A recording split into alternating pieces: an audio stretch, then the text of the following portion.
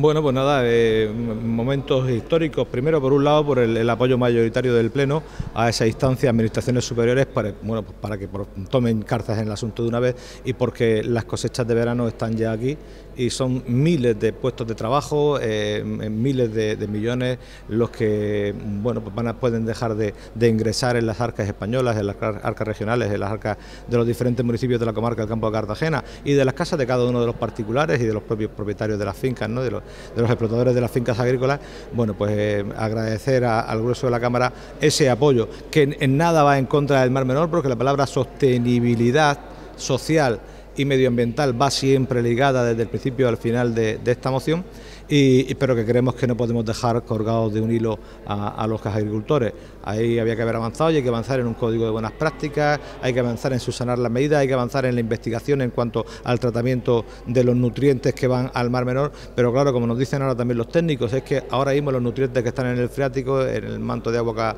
de agua cuaternaria y, en el resto del manto freático que están subiendo y que está en algunos sitios a 4 a 2 metros y en algunos sitios a 70 centímetros, ya están llegando a través de, de, de esa propia capa al mar menor. Por lo tanto, no estamos remediando nada. Es decir, podemos ver la rambla del Albujón absolutamente seca, pero que los aportes de, nutrientes al mar menor sigan siendo elevados. ¿Elevados por qué? Pues porque mm, de momento están disueltos en, el agua del Friático. Por lo tanto, ya que están así, lo que nos dicen los agricultores es que les dejen utilizar esos pozos de sequía, puesto que el agua se está yendo al mar menor sin ser utilizada y, que esas aguas, esos, sobrantes de la salmuera, pues que realmente sean tratados y sean derivados al mar Mediterráneo en diferentes puntos a través de emisarios pues que cumplan con la normativa europea y con la normativa española. Y eso es lo que nos pidieron y lo que hemos traído al, Pleno. Y por otro lado, pues reseñar también que hoy es un Pleno absolutamente trascendente, absolutamente importante, bueno, pues por ese plan de inversiones eh, sostenibles del Ayuntamiento de Cartagena, que gracias a la gestión del superávit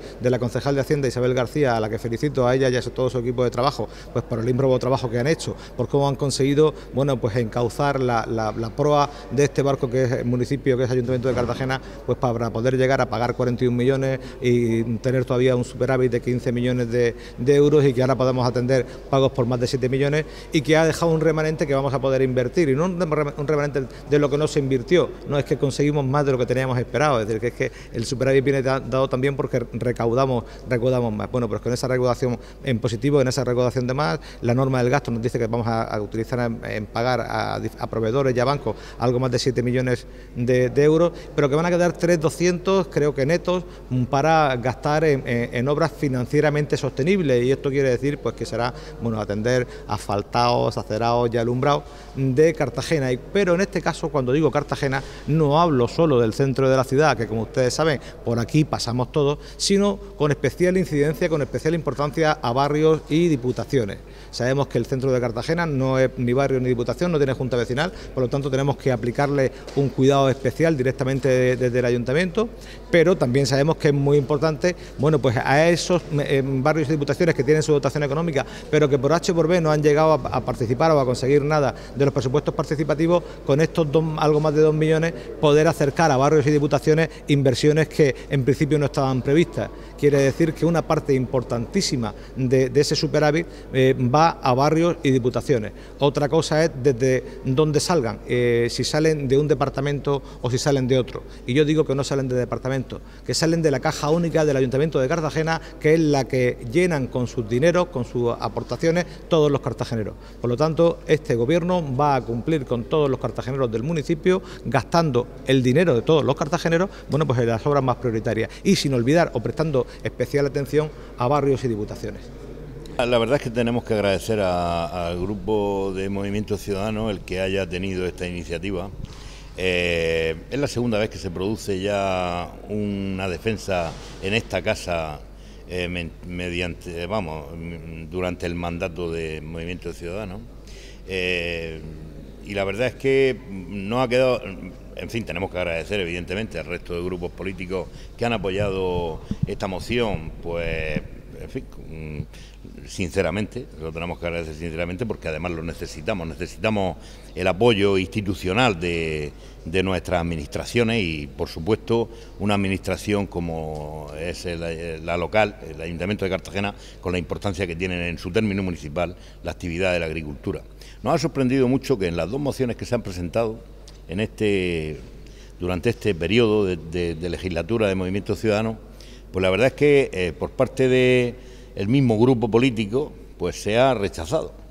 Y yo no sé si es que no se la han leído bien, concretamente la de hoy, o qué es lo que ha pasado, porque la verdad es que, en fin, recogía precisamente todas las circunstancias que ellos estaban alegando diciendo que, en fin, que hay que hacer una agricultura sostenible, pero ya es que estaba dicho dentro de la moción. O sea, y nosotros, que es lo más significativo, estamos dispuestos a hacer eh, eh, eh, esa agricultura sostenible, por supuesto que sí, y corregir todas las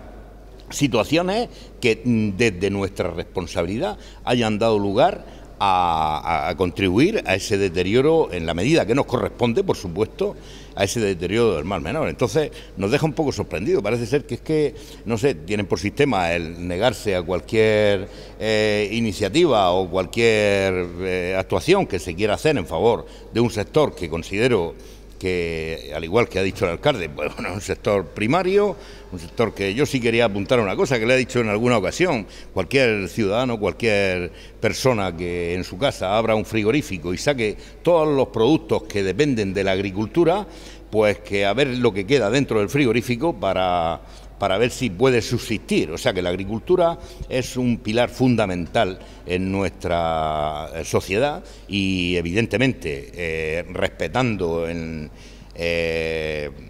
el medio ambiente, como no puede ser de otra manera, tenemos que seguir ejerciendo la actividad y siendo compatible pues con el entorno que nos rodea, que es en este caso pues la laguna, el Mar Menor, que estamos todos decididos a trabajar en ello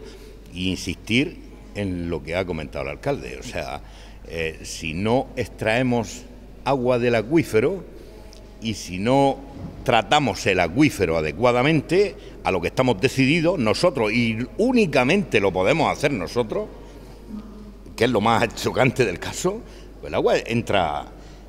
subterráneamente, además con datos científicos, de, hablando de toneladas de, entrada de nitrato como consecuencia de que en las últimas lluvias evidentemente han ocasionado que el acuífero suba de una manera espectacular. El acuífero que tenemos en el campo de Cartagena se recupera muy fácilmente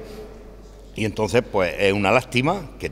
tal y como tenemos la situación ahora mismo de la laguna y de la escasez de agua, que eso por